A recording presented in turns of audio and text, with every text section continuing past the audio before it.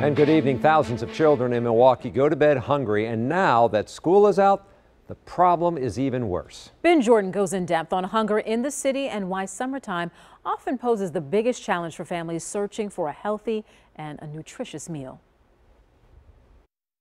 This woman named Cinnamon doesn't want to show her face on camera, but as a Milwaukee mother of four, she feels the need to share the struggle she faces to feed her family. The school provides food, breakfast, lunch, you know, snacks sometimes, but they're not there. They don't get to eat.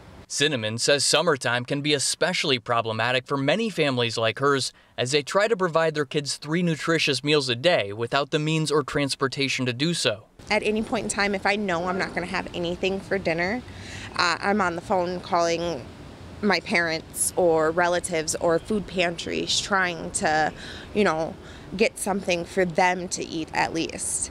Milwaukee's Hunger Task Force is a main supplier for local food banks, soup kitchens, homeless shelters, and senior centers. But Director Sherrie Tussler says their staff faces a major challenge each summer as they provide 800,000 meals in just 10 weeks to prevent the summer slide. Hunger affects one in four children in the city of Milwaukee, and so this morning kids woke up and there was no food in the house, and that's a problem. And so Hunger Task Force makes sure that there are summer meal sites that are open across the city. A recent study in Wisconsin found 1 in 11 households experience low or very low food security. But here in Milwaukee, Sherrie says food deserts create an even greater need. There are 13 neighborhoods spread throughout Milwaukee's north and south sides that are more than half a mile or a 10 minute walk from a grocery store. This means people often have to purchase food at convenience stores instead. And they're more likely to spend more money for less food as a result of having to uh, depend on those local grocery stores that are uh, smaller formats.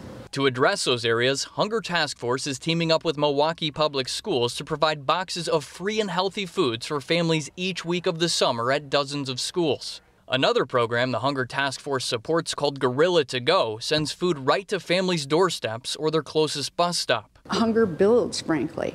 And by the time we hit August, we have some serious challenges. The Hunger Task Force is far from the only organization fighting the summer nutrition gap.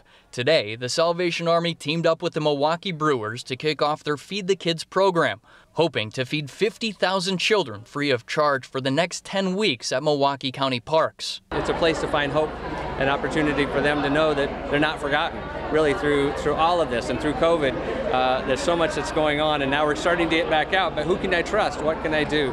And we want the Salvation Army to be that trust for a lot of different families. The pandemic has only magnified the need in Milwaukee.